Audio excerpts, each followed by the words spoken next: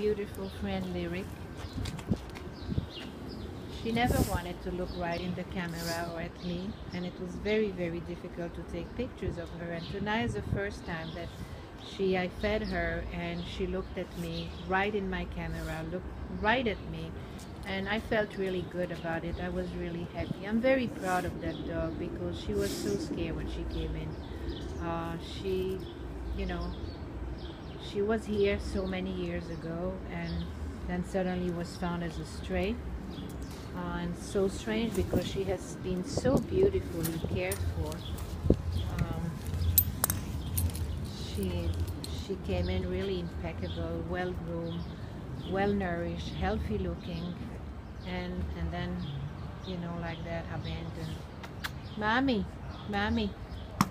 I don't think she doesn't play really ball. She is, you know, she is very reserved, very very reserved but in no way aggressive. A safer is all one and two, but she is experienced or experienced no child because she is so shy. No guarding issue, no dog to dog, nothing. She has been in playgroup, but I don't know how she did. Um, come here, Lyric. Lyric.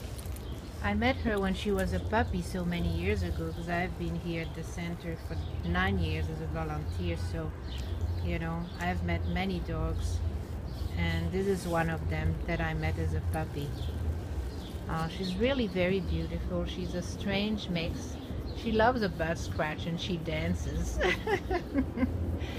uh, maybe a beagle, uh, something else, a hound, probably some pity in, in, her. I don't know really, but she's a very beautiful dog. Um, so this is Lyric. Um, uh, who is already, I believe, seven years old. Uh, purchased as a puppy so many years ago and uh, and brought as a stray. Found in a building, I think, abandoned. Right, Lyric? Right, my princess? Right, my... Oh, my nose has... My hands have electricity all the time. I'm so sorry. She's so good. Such a good girl. She recognized her friends. She knows who are her friends. And she will come. I love her. Lyric.